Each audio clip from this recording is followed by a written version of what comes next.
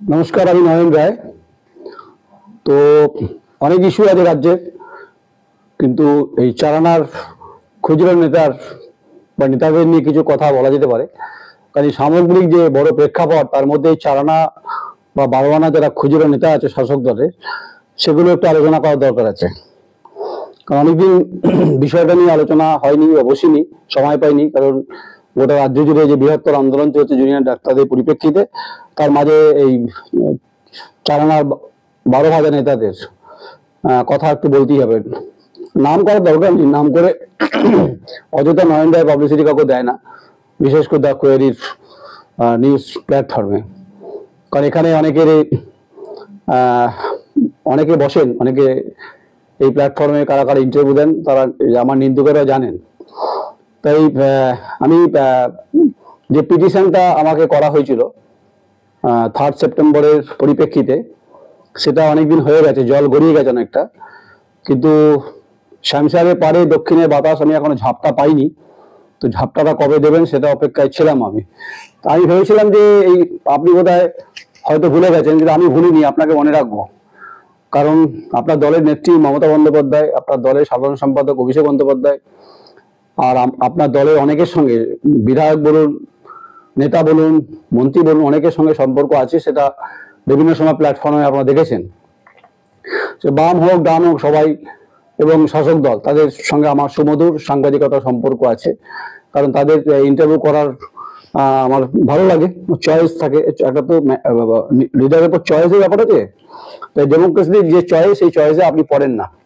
আপনি খুচরো বারোয়ানার প্ল্যাটফর্মে আছেন মানে নেতা আপনি, যাই আপনাকে অতিরিক্ত পাবলিসিটি দিয়ে লাভ নেই। কিন্তু আমার কথা হচ্ছে আপনি, আমি অপেক্ষা করছি আপনি মামলাটা কত করবেন।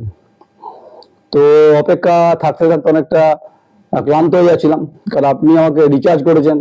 আপনাকে আমি চার্জ করব। এটাই হচ্ছে যে নিয়ম রিচার্জ এবং চার্জ মানে নিউটনের থার্ড ল প্রত্যেক ক্রিয়ার বিপরীত প্রতিক্রিয়া আছে। তাই আবার বলি যে, দমকা হওয়ার বাতাস আমি বইয়ে দেবো তো বারবার বলি, কিন্তু একতরফা হয়ে যাচ্ছে ওয়ান সাইড হয়ে যাচ্ছে। কারণ ওয়ান সাইড হচ্ছে কারণে, কারণ আপনি মামলা করছেন না, আপনি পিটিশন করে ছেড়ে দিয়েছেন, দশ কোটি টাকা, দশ কোটি টাকা দেখেছেন নাকি? দশ কোটি টাকা দেখেছেন, দশ কোটি টাকা গুনতে কতক্ষণ সময় লাগে? আপনি উনিশের একের ধারাটা পড়েছেন? নিশ্চয়ই পড়েছেন, না মানে খুব ভালো করে পড়েছেন বলে আপনি আমাকে দুঃসাহসিক যে অভিযান, সেটা করতে সাহায্য, আপনি করতে পেরেছেন। আপনার সাহস তো আছেই আছে। কিন্তু প্রশ্ন হচ্ছে যে, এই বাংলায় আমি খুব পরিচিত, এ কথা বারবার বলেছি, আমি ক্ষুদ্র হতে পারি, তুচ্ছ হতে পারি। মানে ক্ষুদ্র তুচ্ছ নই মাফ করবেন, তুচ্ছ তো আপনি আমাকে করতেই পারবেন না, কারণ আপনার দলের অনেকের সঙ্গে সম্পর্ক বারবার বলছে আছে। আমার কোথায় কোথায় কানেকশন আছে, সেটা তো ইতিমধ্যেই বুঝতেই পেরেছেন। কারণ আমি আমার এই গোটা বিষয়টা ভালোভাবে এই মুহূর্তে নিইনি। তাই এক মাস, দেড় মাস হয়ে গেল। দু মাসে পূর্বে প্রায়।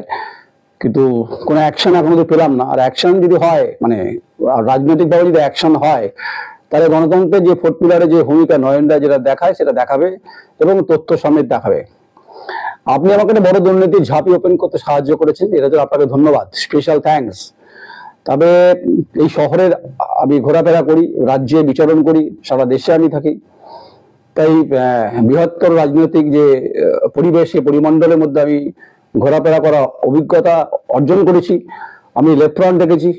আমি তারপরে এ রাজ্যে তৃণমূল কংগ্রেসে আসার দিন থেকে দেখছি। তাই ব্যক্তিগতভাবে আমার সঙ্গে মুখ্যমন্ত্রী সম্পর্ক আছে কি নেই, এই তো তর্ক বিতর্ক কেন করতে যাব? এখানকার লোকাল যারা নেতা আছেন, তারা কি করে জানবেন আমার সম্পর্কে? দেখুন, আমি তো হ্যান্ডেল মিডিয়া নই। আর আমি হচ্ছে যে দয়া দাক্ষিণ্যের কোনো পাত্র নই। আমি স্বতন্ত্র স্বাধীনতার পক্ষে কথা বলি এবং আমার একটা জাত আছে। সেই জাতটা সাংবাদিকতার ক্ষেত্রে ঠিকঠাক মানে মেরুদণ্ডটা। এটা আমার এখনও বিক্রি হয়নি এখন এখন সোজাই আছে সোজা থাকবে। তাই এরকম আপনাদের মতো নেতাকে মানে, সংবাদের শিরোনামে ঘুরপাক খাওয়ানোর মতো লাট্টুর মতো সে ক্ষমতা আমার আছে দম আমার আছে। আবার বলবেন যে দম কথাটা বলছি না থ্রেড কালচার চলছে তো পশ্চিমবঙ্গ জুড়ে চলছে। তাই আপনাকে অতিরঞ্জিত প্রচার দিয়ে লাভ নেই, কিন্তু আপনার সঙ্গে আমার দেখা হওয়ার ইচ্ছা আছে। মানে আপনি আমাকে আদালতে নিয়ে যাবেন, এটুকু আশা করতেই পারি।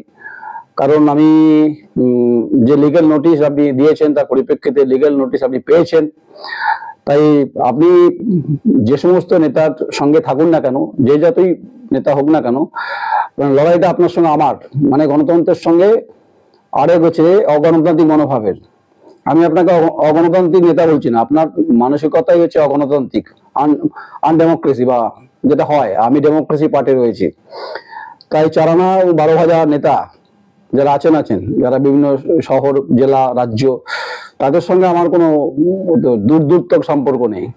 কারণ আমি লেভেল মেনটেন করে চা- চেষ্টা করি। আমি মনে করি যে দ্য কোয়েরি যে প্ল্যাটফর্ম তার যে তেজ বা বা তার যে স্প্রিয়া সেটা মানুষের কথাই বলে, তাই আপনাকে অত বাক্য বিনিময় করে কি লাভ আছে? তবে আপনি মামলা করুন। আপনি কোথায় বর্ধমান কোর্টে করবেন, জেলা জজে করবেন, না হাইকোর্টে করবেন, না সুপ্রিম কোর্টে করবেন, সেখানে আমার সঙ্গে আপনার দেখা হয়ে যাবে, কারণ আমি প্রস্তুত।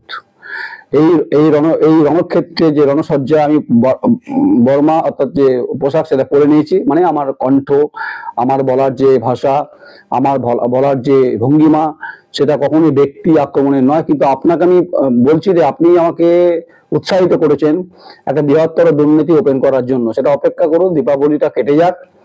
এখন সবাই মোটামুটি পুজোর ফেস্টিভ মুডে রয়েছেন। সবে কার্নিভাল গেছে সমস্ত নাচানাচি হয়েছে ব্যাপারটাতে, ভালো। নাচানাচিতে আপত্তি নেই আমার কিছু। তো সাংবাদিকরা নাচবে না, নাচাবে। নাচাবে মানে যে সংবাদ মাধ্যমের যে ভূমিকা তাতে আপনি নাচবেন নাচবেন নাচবেন, খুব জোর জোর নাচবেন। তাই কোনো হেভি ব্যাপার স্যাপার নয়, তাই নেতা নেতা ভাব হ্যাঁ কার কতদূর যোগাযোগ, সে সময় বলবে। একবার ছুঁয়েছেন আরেকবার ছুঁয়ে দিন। আমি চাইছি আপনাকে আপনাকে একবার, আপনার মোকাবেলা করতে মানে মুখোমুখি হতে মানে আদালতের মাধ্যমে। সেটা আমি, আপনি করুন। আপনার নাম উচ্চারণ করার কোনো মানসিকতা নেই, কারণ এই প্ল্যাটফর্মে আপনার নাম উচ্চারণ করলে আপনি পাবলিসিটি পাবেন। তাই আমি মোটামুটি আইনঘাট, আটঘাট আমার জানা আছে। আমিও খুব ভাববেন না যে হঠাৎ করে চলে এলাম। আমিও মোটামুটি জানি, এ বাংলার মমতা বন্দ্যোপাধ্যায় দীর্ঘদিনের বিরোধী নেত্রী, আন্দোলন, এ রাজ্যের চৌত্রিশ বছরের ক্ষমতার অপশাসনের পর মমতা বন্দ্যোপাধ্যায়, তারপরে আপনাদের দলের সাধারণ সম্পাদক অভিষেক বন্দ্যোপাধ্যায়, তারা মার্জিত অ্যাকচুয়ালি আবার বলছি, আপনাদের দলের নেতাদের কাছে আপনাদের শিক্ষা নেওয়া উচিত। আপনারা শিক্ষা নেন না। আপনারা নিজেদের এক- নিজেরাই এক একজন অভিষেক বন্দ্যোপাধ্যায় মনে করছেন। তা যে নয়, আপনারা কোনোদিন কোনোদিন ওই জায়গায় পৌঁছতে পারবেন না। কেন পারবেন না? কারণ আপনারা গণতন্ত্রের ফোর্থ পিলারের উপর আক্রমণ করছেন। যেটা আপনার কোন মুখ্যমন্ত্রী করেন না, আপনি করে ফেলছেন। তার আপনি বিরাট নেতা। আপনার নেতা অভিষেক বন্দ্যোপাধ্যায় সেটাও করেন। এই ভেরি গুড পার্লামেন্টারিয়ান আমি তাকে পছন্দ করতে- করি, না করি, আমার তার বক্তব্য ভালো লাগে। আমার সঙ্গে তো অনেকের সম্পর্ক আছে। আমি তো দুদিন আগে একদিনই বলুন অরুণাভ ঘোষ, বিখ্যাত আইনজীবী, তার ইন্টারভিউ করছিলাম। বামপন্থীদের পরিচিত মুখ, বিকাশ রঞ্জন ভট্টাচার্য তার ইন্টারভিউ করছিলাম। আপনার দলে অনেকের সঙ্গে সম্পর্ক ভালো। যা যেসব নামের সঙ্গে আপনার নাম নাম উচ্চারণ করা মানে মানে অসুবিধা আছে। এসব নাম টাম শুনলে আপনি চমকে যেতে পারেন। চমকে যাবেন অবশ্য নিশ্চয়ই প্ল্যাটফর্মে দেখেছেন। আর ওই হেলা বেলা সাংবাদিক কলা কাজ নয় কিন্তু। যাদেরকে বসাই, তারা ঠিক দায়িত্ব নিয়ে বসে, যাদেরকে প্রশ্ন করি, তারা দায়িত্ব নিয়ে প্রশ্ন উত্তর দেয়। কারণ আমার প্রশ্ন একটু কঠিন, সহজ সরল নয় যে আপনি সবসময় গুগলি পেয়ে যাবেন। আমি ইয়ারকার দিতে ভালোবাসি, সেই ইয়ারকার আপনি নিতে পারলে ভেরি গুড নাহলে কিন্তু মোকাবেলা যদি আদালতের মাধ্যমে করেন, আমি আদালতকে সম্মান করি, সম্মান জানাই। আপনার পিটিশনকে আমি খুব প্রাণ ভরে নিয়েছি, কিন্তু অপেক্ষায় আছি আপনি কবে আমার বিরুদ্ধে আদালতে যাবেন যে ডিফরমেশন আপনি করেছেন, পিটিশন, এখন আপনি কেন চুপচাপ আছেন সেটা জানতে চাইছি। আর যদি কিছু করার থাকে, আমি আপনাকে বলছি যে, এই মুহূর্তে যদি কোনো ঘটনা ঘটেছে একটা অফিসে আক্রান্ত অফিসে একটা পরিবেশ আক্রান্ত হয়েছে। সেটার সঙ্গে কোনো সম্পর্ক নেই, কিন্তু কোনো কারণে আমাকে ভয় ডরের কাছে যদি মাথা নত করতে বলা হয়, তাহলে বিপদ আছে কপালে। আমি কারও কাছে মাথা নত করিনি, করব না। করার মানসিকতাই নেই, কারণ আমার সিদ্ধাটা বিক্রি হয়নি কো। আপনাদের বিক্রি হতে পারে, আমার বিক্রি হয়নি কো। আপনাদের পরিচয় হয়েছে রাজনীতি, আমার পরিচয় সাংবাদিক। কারণ আমারও শিক্ষাগত যোগ্যতা আছে, যথেষ্ট আছে, এনাবেল আছে। তাই আমি হেলা ফেলা চলে এলাম। আর আমি দয়া বারবার যে দয়া দাক্ষিণে সাংবাদিকতা করি না, বা যাকে যাকে বলা হয় যে করুণার পাত্র দাক্ষিণাত্যে দাক্ষিণে দক্ষিণে বাতাসের সঙ্গে সঙ্গে যে দাক্ষিণ নেব, ওই ওই পার্সেল আমি পড়ি না। সবাই নিন্দা করছেন গোটা বিষয়টাতে। জানি না, নিন্দার প্রতিধ্বনি আপনার কর্ণ কর্ণ করে পৌঁছচ্ছে কিনা বলতে পারব না। তাহলে বলতে হবে আপনার কানের চামড়া মোটা।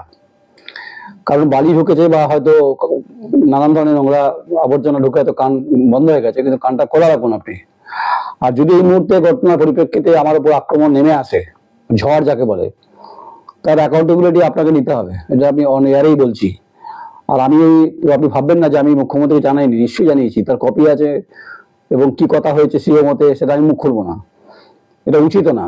আমি অভিষেক বন্দ্যোপাধ্যায়কে জানিয়েছি যে সংবাদ পরিবেশন করার পরিপ্রেক্ষিতে দশ কোটি টাকার একটা পিটিশনের নোটিশ, দশ কোটি টাকা গুনতে আজকাল বিভিন্ন ব্যাংক ইডি ধরছে না টাকা পয়সা তাদের মেশিন লাগে।